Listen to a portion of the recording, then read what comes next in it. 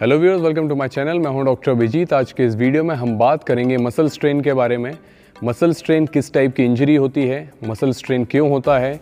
Muscle strain के symptoms क्या होते हैं? किस तरीके से सीवियरिटी के हिसाब से हम मसल स्ट्रेन को ग्रेड करते हैं? और साथ ही साथ हम देखेंगे मसल स्ट्रेन का ट्रीटमेंट तो इस वीडियो में हम मसल स्ट्रेन के बारे में बहुत कुछ सीखने वाले हैं, इसलिए आप इस वीडियो को एंड तक ज़रूर देखें। वियर जो मसल स्ट्रेन है, उसमें हमारे जो मसल फाइबर्स होते हैं, यानी कि मांसपेशियों के जो रेशे होते हैं, वो टूट जाते हैं। ऐसा तब होता है जब हमारे मसल पर दबाव आता है ओवरलोड आता है, और हमारा जो मसल है, वो उस लोड को कोप अप नहीं कर पाता। ये ज़्यादातर ओवर स्ट्रेच या इसेंट्रिक कॉन्ट्रेक्शन के दौरान देखने को मिलता है। इसीलिए डायनेमिक नॉन कॉन्टैक्ट स्पोर्ट्स जैसे कि जंपिंग और रनिंग स्पोर्ट्स में कॉमनली देखने को मिलता है। सो so, व्यूअर्स अब हम बात करते हैं मसल स्ट्रेन के ग्रेडिंग की कि सीवियरिटी और गंभीरता के हिसाब से हम किस तरीके से मसल स्ट्रेन को डिवाइड करते हैं। सो so, वियर जो मसल स्ट्रेन इंजरी है उसको हम तीन ग्रेड्स में बांटते हैं ग्रेड वन ग्रेड टू और ग्रेड थ्री सो वियर जो ग्रेड वन की इंजरी होती है उसमें हमारे कुछ ही मसल फाइबर्स डैमेज होते हैं। इसमें जो मसल की स्ट्रेंथ है वो लगभग पहले की तरह ही रहती है।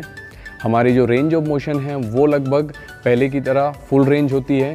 और साथ ही साथ जो दर्द और टेंडरनेस यानी कि छूने पर जो दर्द है वो पेशेंट को अमूमन दूसरे दिन महसूस होता है। व्यूअर्स बात करते हैं हम ग्रेड टू की। तो जो ग्रेड टू की इंजरी है, उसमें हमारे करीब 50 परसेंट यानी कि लगभग आधे मसल फाइबर जो हैं वो डैमेज हो जाते हैं। इस कंडीशन में पेशेंट को सूजन रहती है। इस कंडीशन में जो दर्द है, वो पेशेंट को तुरंत महसूस होता है और ज़्यादा महसूस होता है कंपेरेटिवली जो फ़र्स्ट ग्रेड में दर्द पेशेंट को रहता है। इसमें सूजन भी देखने को मिलती है और हमारे जो मसल की स्ट्रेंथ है, उसमें भी थोड़ी कमी आती है। इसी तरीके से व्यूअर जो थर्ड ग्रेड का मसल टेयर होता है, वो कंप्लीट मसल टेयर होता है, यानी कि लगभग सारे ही मसल फाइबर जो हैं, वो डैमेज हो जाते हैं। इसके कारण पेशेंट को बहुत ज़्यादा सीवियर दर्द होता है, इस कंडीशन में सूजन भी रहती है और साथ ही साथ लॉस ऑफ़ फ़ंक्शन यानी कि जो मसल का काम है, वो मसल पूरी तरीके से नहीं कर पाता।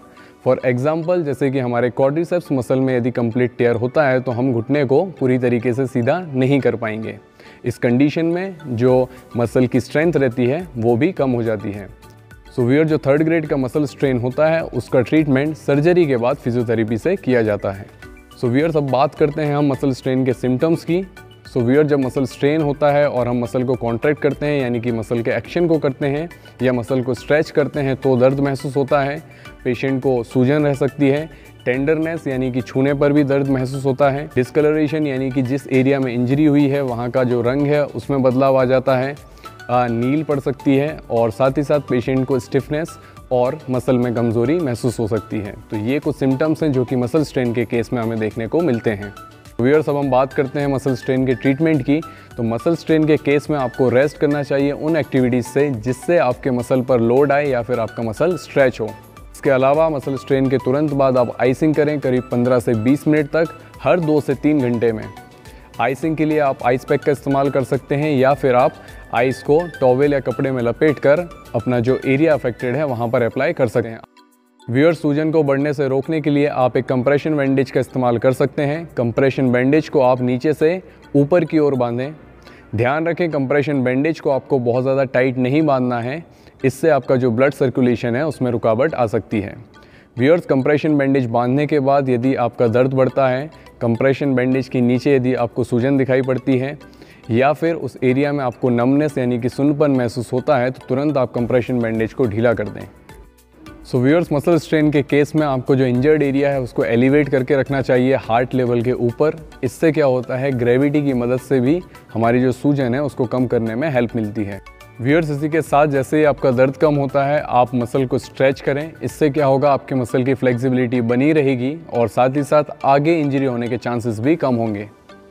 फ्लेक्सिबिलिटी के अलावा स्ट्रेंथ जो है एक मेजर कंपोनेंट होता है मसल स्ट्रेन को ट्रीट करने के लिए इसलिए आपको स्ट्रेंथिंग एक्सरसाइजेस भी करनी चाहिए।